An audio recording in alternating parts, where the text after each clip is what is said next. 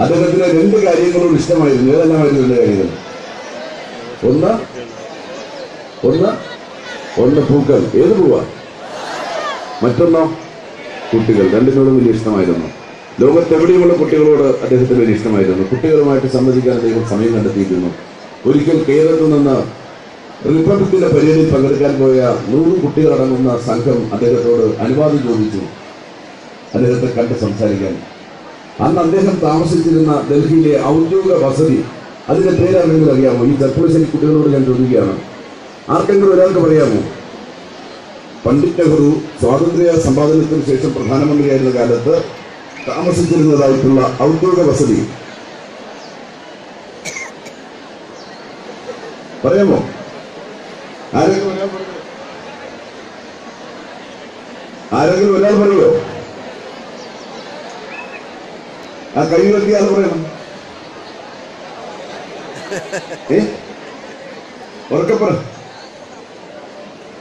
പറയുന്നയാളിനെ ഇവിടെ നിന്നോട് സ്റ്റേജിലേക്ക് വിളിച്ച് നമ്മൾ ബഹുമാനിക്കും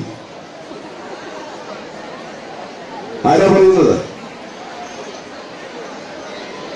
നെഹ്റു പ്രധാനമന്ത്രിയായിരുന്ന കാലത്ത് അദ്ദേഹം താമസിച്ചിരുന്ന ഔദ്യോഗിക വസതിയുടെ പേര് തീൻമൂർത്തി ഭവൻ എന്നാണ് എന്താണ് ഉറക്കെ പറയണം എല്ലാവരും ഇവിടെ പറഞ്ഞേ തീൻമൂർത്തി ഭവൻ തീൻമൂർത്തി ഭവന്റെ ഇന്നത്തെ പേര് അറിയാമോ ഇന്നത് എന്താണെന്ന് അറിയാമോ പറയാൻ അറിയാവുന്ന ആരെങ്കിലും ഉണ്ടെങ്കിൽ കൈവിട്ട് ഞാൻ തന്നെ പറയാം അത് അതിന്ന് നെഹ്റു മ്യൂസിയമാണ്. എന്താണ്? നെഹ്റു മ്യൂസിയമാണ്. എന്തെങ്കിലും ഡൽഹി പോകാൻ സാധിക്കുമ്പോൾ നിങ്ങൾ നിശ്ചയമായിട്ടും നെഹ്റു മ്യൂസിയത്തിൽ പോകണം. നെഹ്റു മ്യൂസിയത്തിലൂടെ സഞ്ചരിച്ചു കഴിയുമ്പോൾ നമ്മുടെ രാജ്യത്തിന്റെ സ്വാതന്ത്ര്യ സമര ചരിത്രത്തിലൂടെ സഞ്ചരിക്കുന്ന ഒരു ഫീൽ നമുക്ക് കിട്ടും.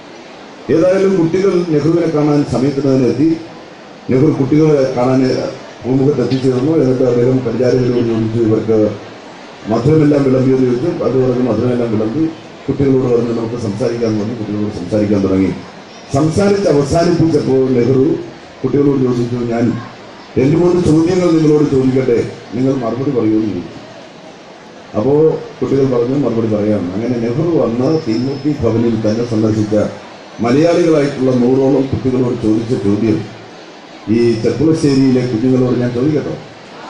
വളരെ ലളിതമായിട്ടുള്ള ചോദ്യമാണ് നെഹ്റു ചോദിച്ചത്. നെഹ്റു ചോദിച്ചു നിങ്ങൾക്ക് കണ്ണുകളുണ്ടോ എന്ന്? എന്തായിരുന്നു മറുപടി?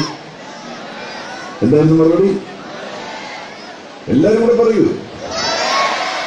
രണ്ടാമത്തെ ചോദ്യം എന്തിനാണ് കണ്ണുകൾ എന്നുള്ളതാണ്? എന്തിനാണ് കണ്ണുകൾ? ഉറക്കെ പറയണോ. മൂന്നാമത്തെ ചോദ്യം എന്തു കാണാനെന്നാണ്.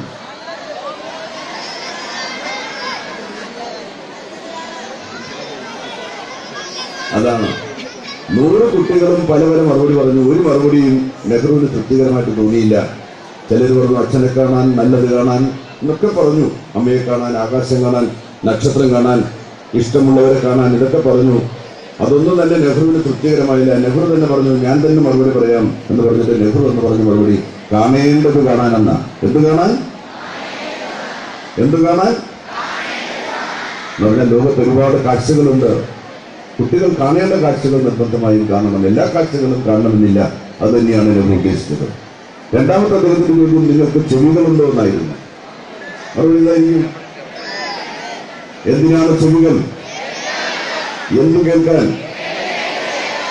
മൂന്നാമത്തത് നിങ്ങൾക്ക് നാമങ്ങളുണ്ടോ എന്നായിരുന്നു. എന്തിനാണ് നാവുകൾ?